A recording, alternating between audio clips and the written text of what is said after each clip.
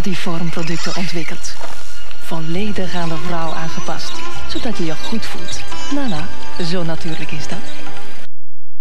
En nu jij. Tony, ze zijn te sterk. Kom aan, met mijn Frosties van Kellogg's gaan we er lekker tegenaan. Heerlijk gesuikerde maïsvlokken in een volledig ontbijt. Mmm, om te winnen zijn mijn Frosties geweldig. Frosties geven je tijgerkracht. Ah ja. Dat is energie met de macht. Frosties van Kellogg's geven je tijgerkracht. Précis de Jamais, mijn nieuwe ultra-precieze mascara. Zijn exclusief borsteltjes scheidt al mijn wimpers.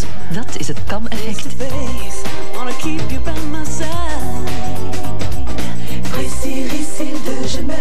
De wimpers zijn gladder, mooier en langer dan ooit. Dankzij de gladmakende balsem. Een nauwkeurige formule voor een onweerstaanbare blik. Précis de mascara-innovatie van Jamais. Voor een ultra-propere was, zie hier Ariel Ultra Vloeibaar met ultrawaskracht tegen vlekken.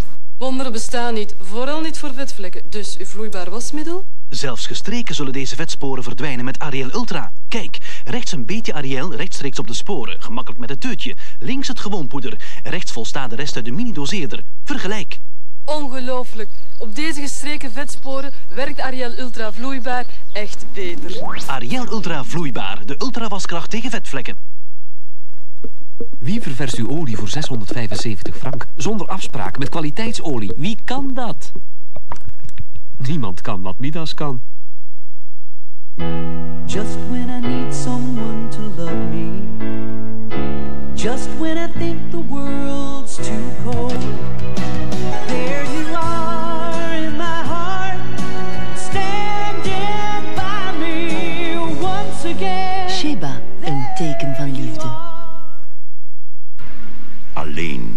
exclusief voor de man.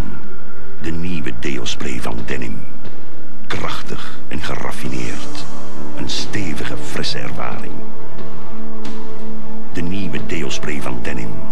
Voor de man die elke situatie stevig in de hand heeft. Je hebt altijd gedroomd van een nieuwe, verfrissende smaaksensatie. Beeld je een natuurlijke en frisse yoghurt in en dauwverse, sappige vruchten. Beeld je een roomzachte en frisse smaak in. Een smaak die je nooit tevoren proefde. Je hebt Fresh ontdekt. Fluweelzacht yoghurtijs met vruchten. Fresh yoghurtijs. Exclusief van Ola. U gelooft nog steeds dat dit de enige Spaanse attractie is? Zo zag u Spanje nog nooit. De nieuwe Ibiza. Vanaf dit weekend bij uw Seat dealer.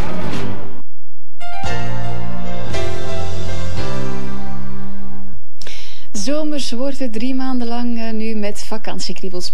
Luc Appermond bijt vandaag de spits af van het zomerspraatprogramma dat voortaan dagelijks vanaf eh, 8 uur op het VTM-scherm te zien zal zijn. Wie en wat u allemaal mag verwachten hoort u dadelijk van hemzelf. Vakantiekriebels. Vakantiekriebels en appelsientje. Het beste onder de zon.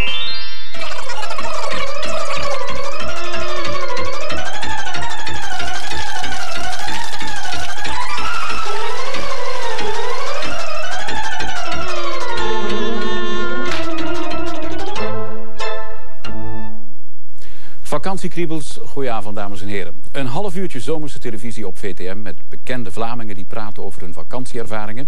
Met de weerman, met Ingeborg die de leukste plekjes in Vlaanderen bezoekt. Een wekelijkse horoscoop en een prijsvraag waarmee u uw eigen huis ter waarde van 3,5 miljoen kunt winnen. En nog veel meer. Onze allereerste gasten die stuurde vorige vrijdag haar familie met vakantie. Maar zij bleef nog even hangen. Martien Jonkeren. Martien, welkom. Ja, jij bent onze allereerste gasten. Dag Luc. Ik zie dat je eh, strandlaken hebt meegebracht, hè? Ja. Ja, eh, dat is een herinnering aan een vroegere vakantie. Daar zullen we het straks over hebben, want ik stel voor dat we meteen naar het strand gaan. Oké. Ja?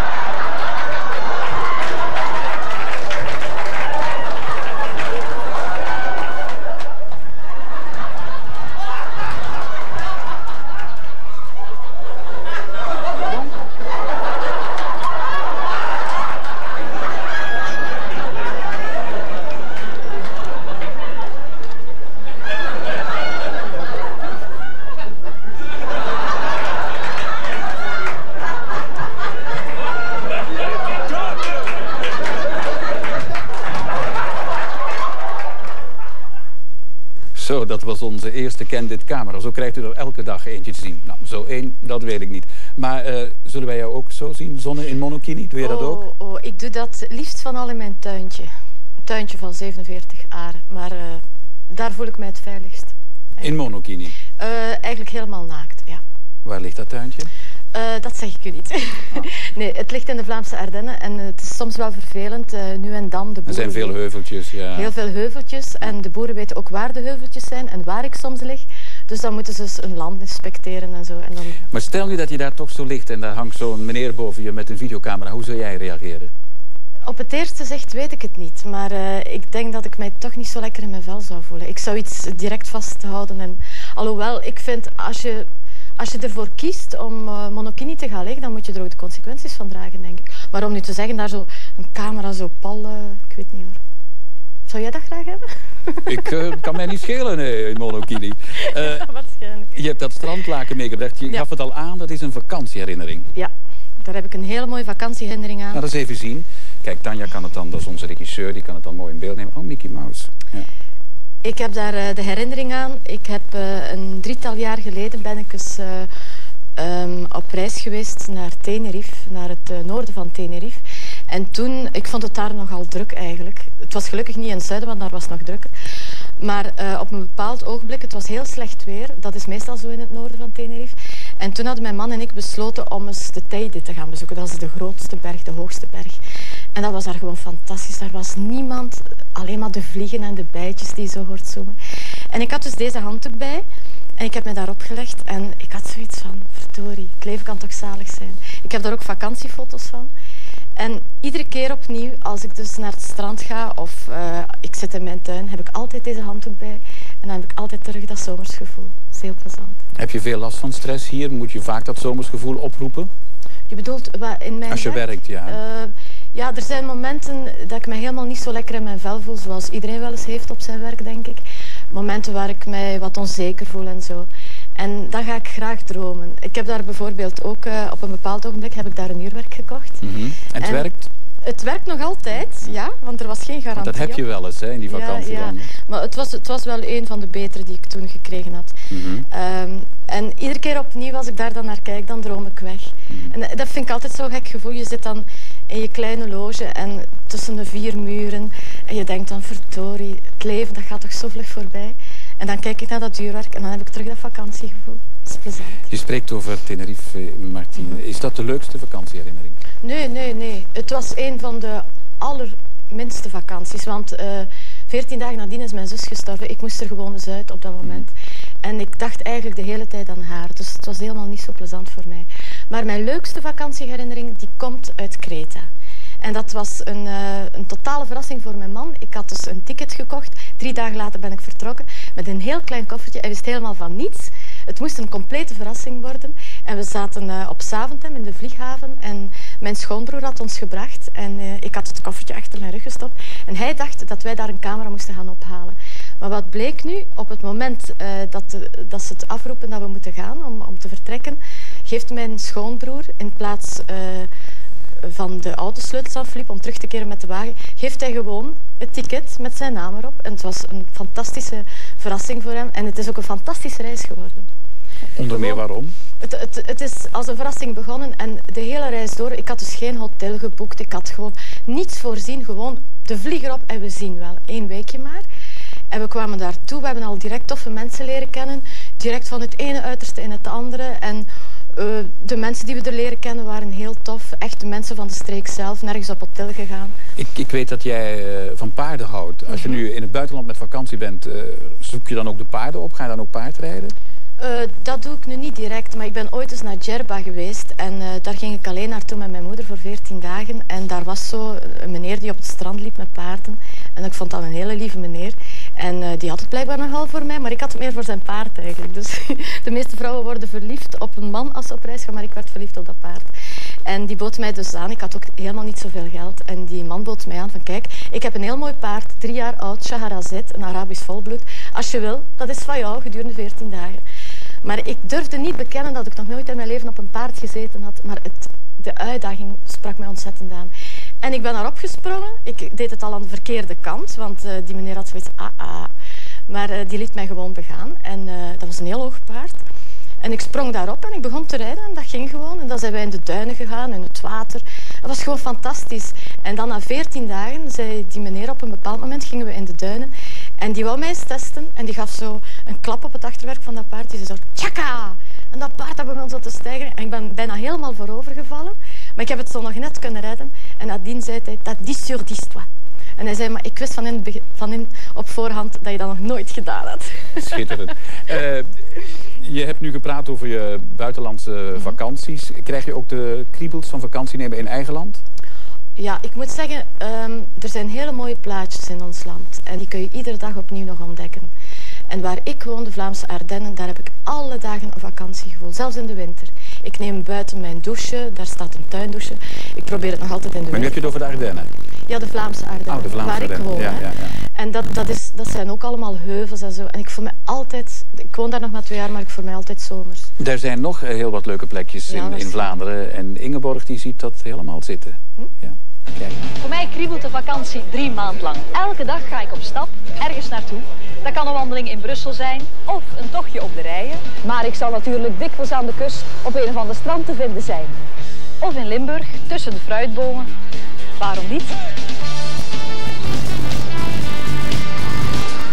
Mijn eerste uitstap is bijna vanzelfsprekend Antwerpen, de culturele hoofdstad van Europa. Het wordt vandaag een korte stadswandeling als eerste kennismaking. En later komen we dan nog eens terug, want er is zoveel te zien dat je het op één dag niet allemaal kunt meepikken.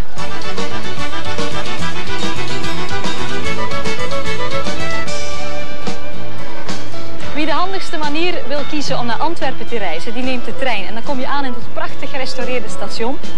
Eh, de spoorwegen die bieden speciale dagtrips Antwerpen 93 aan. En met inbegrip van een dagkaart van de lijn en een reductie op de gekozen tentoonstelling. Neem ze de tram naar het hartje van Antwerpen. Meneer. En zo kom je heel snel op de groenplaats. En wie er een tijdje niet meer is geweest, die zal zijn ogen opentrekken, want de volledige groenplaats is heringericht. Met een nieuw winkelcentrum met 50 nieuwe winkels en een prestigieus hotel.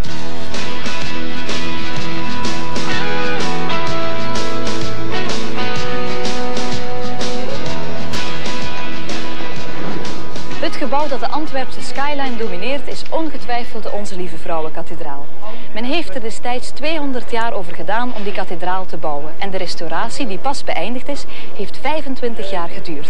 Maar nu staat ze er weer in al haar glorie. De hoogste gotische kerk van ons land, met de hoogste toren, 123 meter hoog.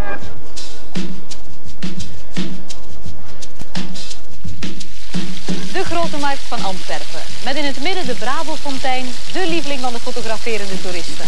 Antwerpen, Antwerpen. En dit is het stadhuis van Antwerpen opgetrokken in renaissance-stijl.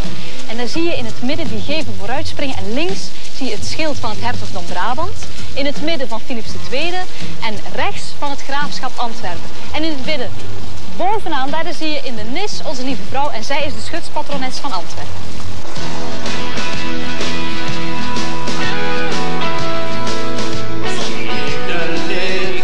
Van de schelde dat ik in je ogen kijk, die zo heel veel vertellen, dan ben ik als een prins zo.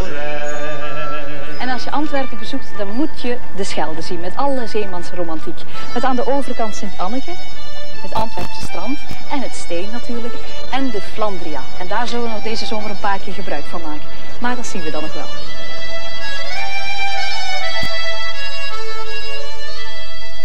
Dat zien we inderdaad nog wel morgen al, want dan is Ingeborg er weer. Martien, zien we jou deze zomer in Antwerpen, Antwerpen 93? Oh, waarschijnlijk wel hoor. Ik vind dat een ontzettend leuke stad. Ik heb er zelf al een jaartje gewoond. En, eh, Maar sinds die evenementen nu, ben je al een kijkje gaan nemen? Heb je al Mm, iets? nee. nog a geen tijd gehad. a shame. Ja. Ehm, jij mocht een onbekende gast meebrengen, hè? Mhm. Eh, dat hebben we zo besteld van in het begin. En jij hebt Vivian Oudenaard uitgenodigd. Ja. Dat is nou niet helemaal onbekend, hè? Want Vivian eh, kennen we zelf vanwege haar modeactiviteiten. En als een vriendin van Willy Sommers. Ben je misschien ook een fan van Willy? Ehm, moet ik hier nu een antwoord op geven? als man wel, als zanger niet altijd. Ik vind dat hij heel mooie liedjes heeft, maar het, nu niet zo direct zijn muziek. Daarvoor heb je Vivian niet uitgenodigd. Nee, ik heb Vivian uitgenodigd voor Vivian. Ik heb het voor de vrouwen, dus je weet dat al. Voor mij toch, hè? Nee, ik vind dat een vrouw met ontzettend veel kwaliteiten. Ik heb daar ooit, ik heb haar leren kennen eh, toen ze mij opbelde om een fotosessie te doen.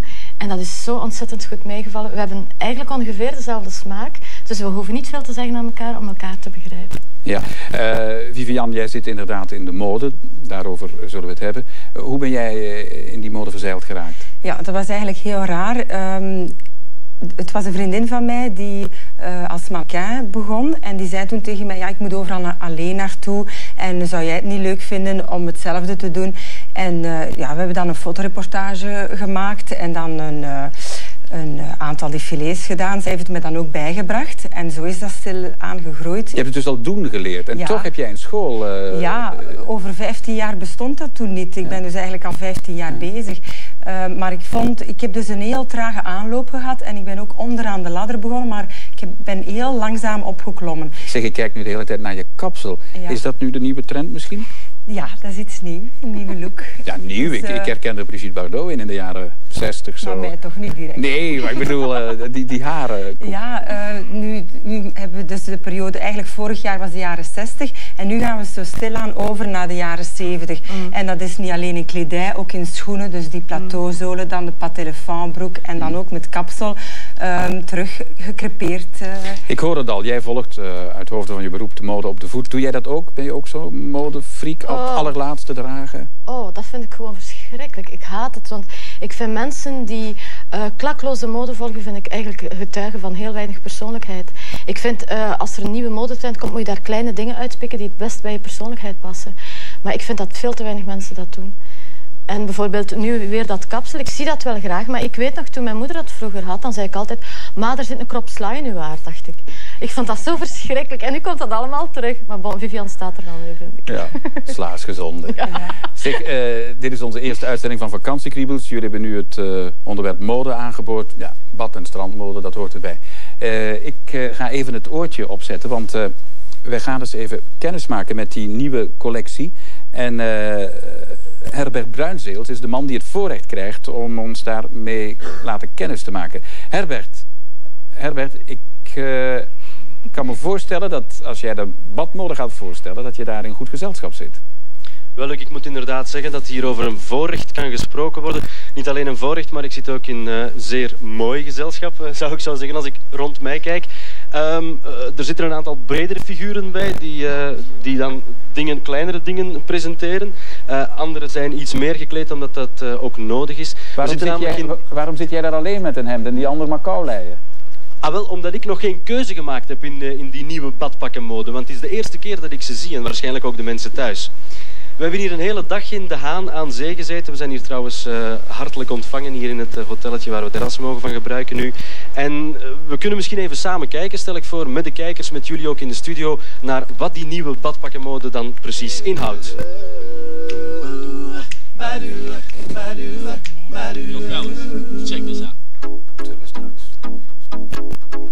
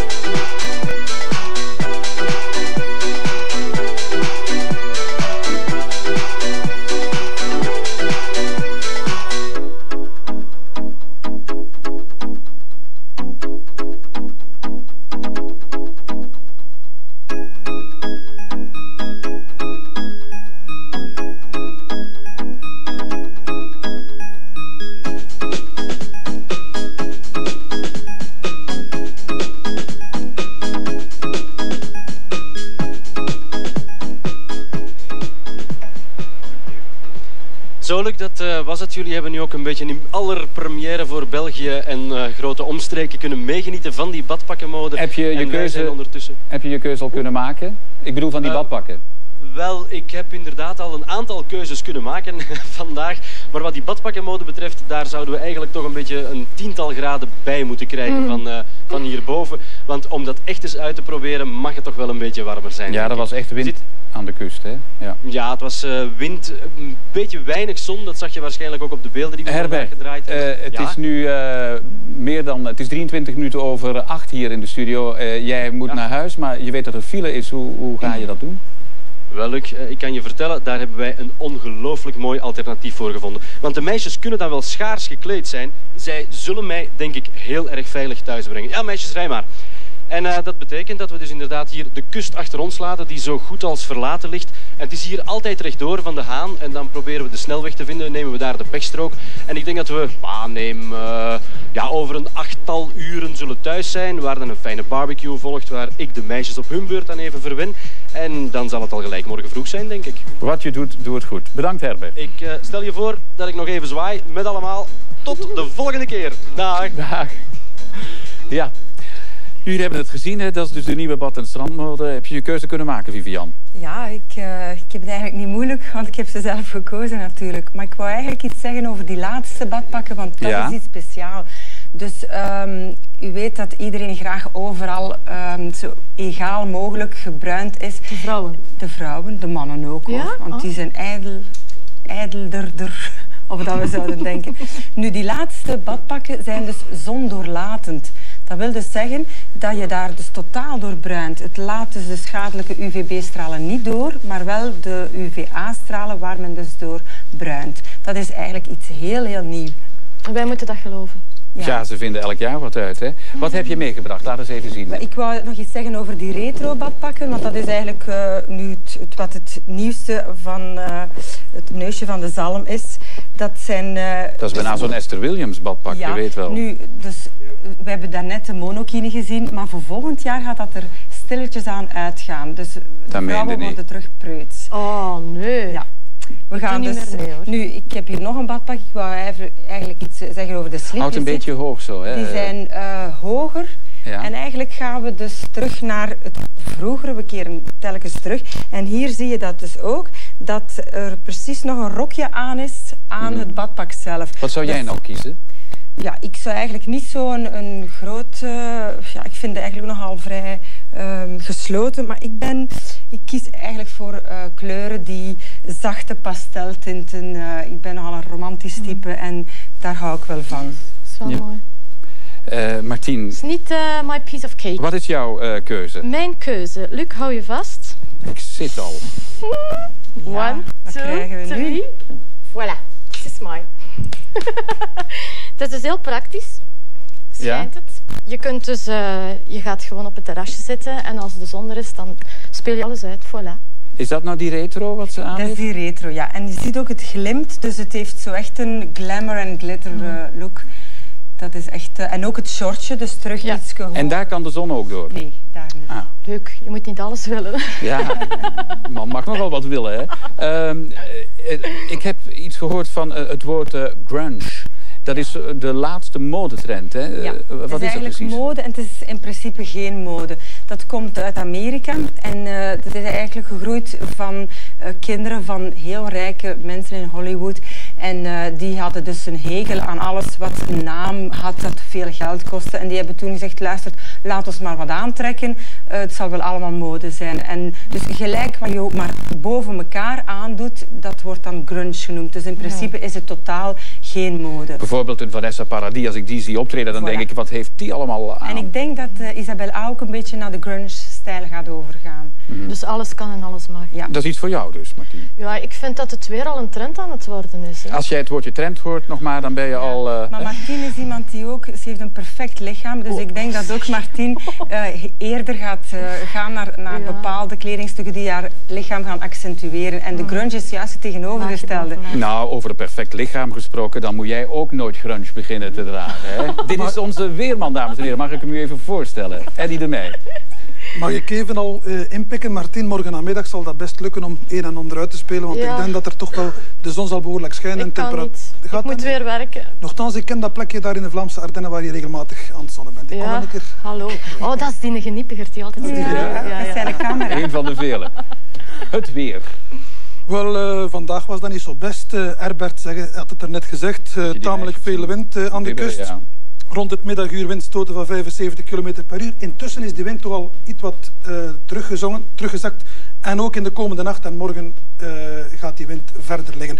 Nu, eh, al bij al hebben we van het weer de voorbije tijd geen klagen. Vandaag eindigt de meteorologische lente. 21 juni. Nee, dus meteorologische lente. Je weet, Weerman, dat is een speciaal ras. Die gebruiken gewoon maanden. Wij rekenen dus maart, april, mei. Anders wordt dat te moeilijk om, om van de 21ste naar de... Wij kunnen ook niet de best stellen. Dus de lente zit erop voor jullie. De lente zit erop vannacht om 12 uur. Ik heb eventjes een optelsommetje gemaakt wat die lente 93 betreft. De gemiddelde maximumtemperatuur 15 graden, punt 6, minima 6,6. Wel, u ziet meer dan 2 graden boven het normale. Dat betekent dat de lente 93 bij de vijf beste scoort van deze eeuw. Dus we hebben zeker eh, geen klaag. Ook de zon, en ik kan dat, kunt dat eh, duidelijk zien, de zon scheen ook vaker dan eh, gewoonlijk. Dus geen klagen over het weer, jammer vandaag, maar er is beterschap op komst. Misschien eventjes de weerkaart voor morgen. Een hoge drukgebied. Ik ga u onmiddellijk zeggen, het is een hoge drukgebied dat eigenlijk het doodknijpen niet waard is. Maar aan de flank van dat hoge drukgebied en tussen deze slecht weerzone, daar komt morgen een aanvoer van warme zuidelijke luchtopgang. Vandaar, zoals ik daarnet zei, morgen namiddag lukt het best om, om te gaan zonnen. En als het naar het zuiden gaat, dan lukt het helemaal, hè? Eh, u ziet hier temperaturen in Spanje, Andalusië bijvoorbeeld 32 graden. Ik denk dat dat eigenlijk morgen toch wel het warmste plekje wordt van eh, Europa. Alhoewel Athene heeft ook niet klagen. hè? Daar was het vanmiddag ook eh, een graad of 30 en morgen. Het blijft eigenlijk zo. Mensen die dus vertrekken naar het Middellandse zeegebied, het blijft daar de komende dagen zo. Nu, wij moeten deze blauwe zone in doorgaan. Dat is slecht weer. Dat is slecht weer. En die komt morgennacht bij Mhm. ons langs. En achter die zone met bewolking en neerslag komt koele lucht. Schakelen we even over naar het plaatje voor woensdag. Ja? Wij komen dus in die koele lucht. Ik moet nog wel even zeggen, morgennacht bij de doortocht van die zone, en men noemt dat een koufront, is het mogelijk dat er ook onweer bij te pas komt. Dus eigenlijk een beetje voorzichtig Maar dat is nachts, dan liggen we toch in de Dat is nachts, maar- Hoe is het weer eh, bij ons in België zelf? Wel voor België voor morgen, dus op het kaartje voor morgen gaan we dat onmiddellijk zien. Morgen periode met zon, zuidelijke wind, een temperatuur van een 22, 23 graden. Zonnige periode, misschien in de ochtend nog wel wolkenvelden, maar in de namiddag komt die zon alsmaar vaker en vaker Dus tevoorschijn. wat terugzomer. Het wordt eigenlijk maar tijdelijk. Want op het volgende plaatje gaat u zien dat het eh, liedje niet van lange duur is. Woensdag terugval van de temperatuur naar een graad of 18. Enkele regen- of onweersbuien. Donderdag gaat die buien geleidelijk weg naar Duitsland. Af en toe komt de zon tevoorschijn. Het blijft nog enigszins aan de koele kant met 18 graden westelijke wind. Vrijdag opnieuw gelegenheid om lekker te zonnen. Temperatuur stijgt naar 24 graden. Zonnige perioden. Maar zaterdag is het jammer genoeg opnieuw om zeep. Is er zo geen methode om het mooi weer te bestellen op het moment dat je vrij bent?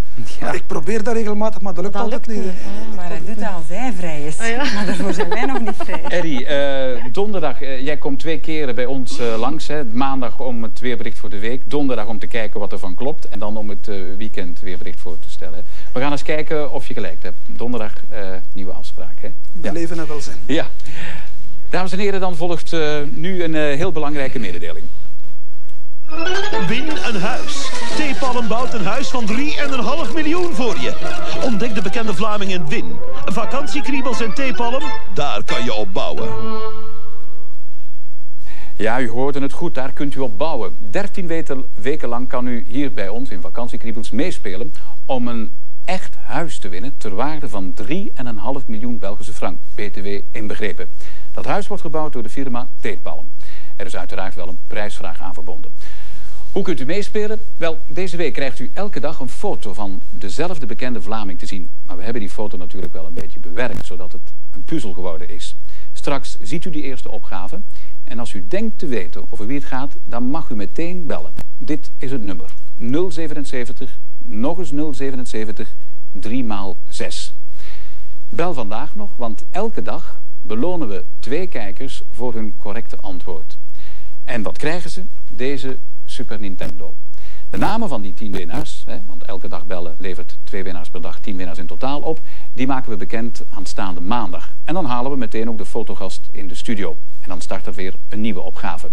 Iedereen die dus een correct antwoord geeft, die maakt niet alleen kans op deze Super Nintendo, maar ook nog eens op die fantastische hoofdprijs, het huis ter waarde van 3,5 miljoen.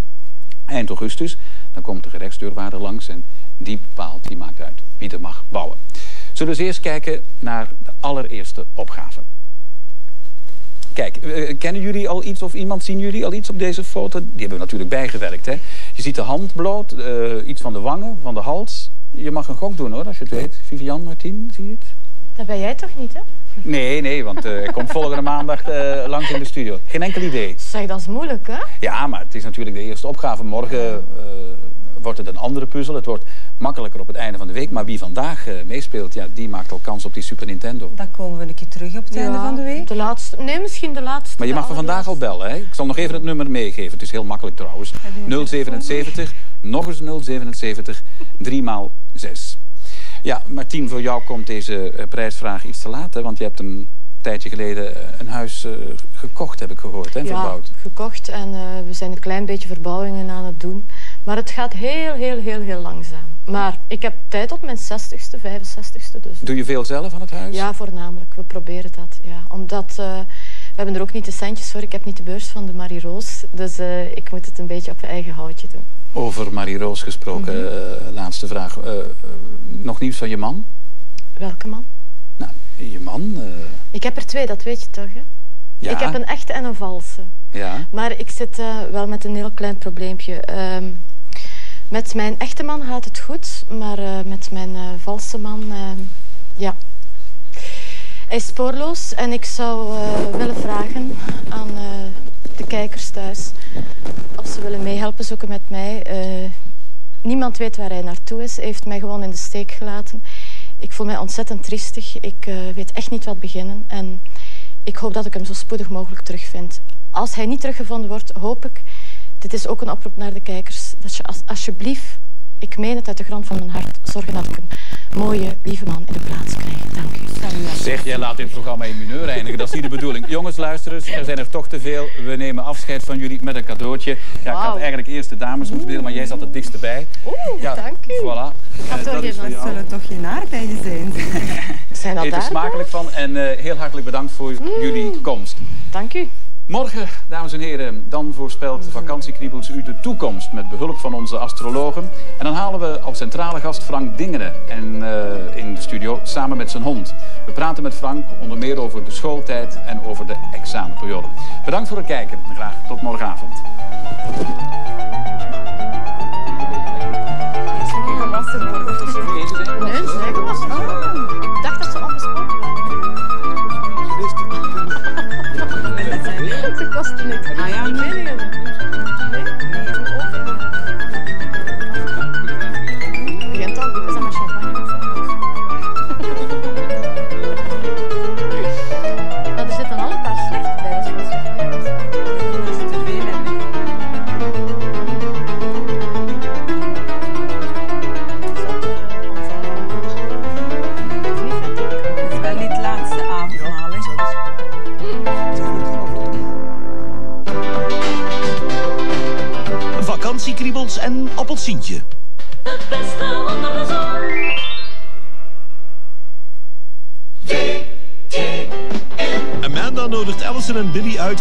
In de bungalow van haar ouders. En als de kat van huis is, kijk maar straks na zomerrust naar Melrose Place.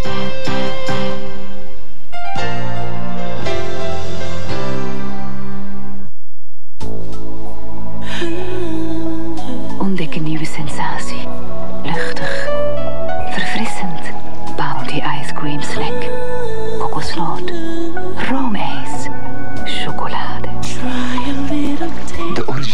Bounty muziek, nu op cd. Lees de promotieverpakking. Als je perfect zachte benen wil, dan moet je alles epileren. Ook de kortste haartjes. Satriel van Philips hoef je niet te wachten tot die hardnekkige haartjes verschijnen. Zijn ingenieus pincettensysteem epileert ze in alle zachtheid tot en met de wortel. De nieuwe Satinel van Philips. De makkelijkste aanpak voor satijnzachte benen.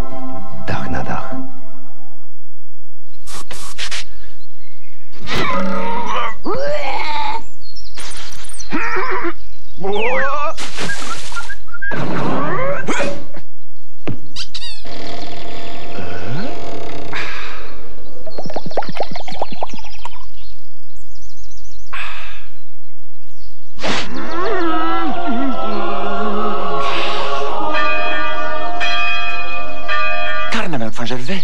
Eten en drinken.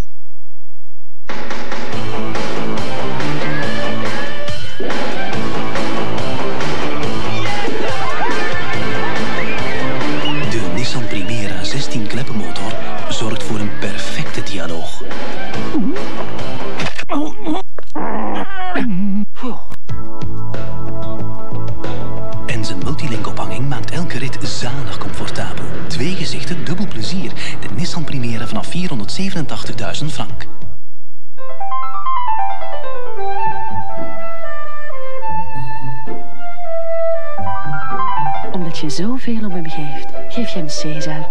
Lekkere stukjes vlees met zorg klaargemaakt. En met alle vitamines en mineralen die hij elke dag nodig heeft. Caesar, als je om elkaar geeft. De meeste wasverzachters houden wol donzig, katoen zacht en fris en beschermen delicate stoffen. Nu is er een wasverzachter die zorg draagt voor het allerbelangrijkste.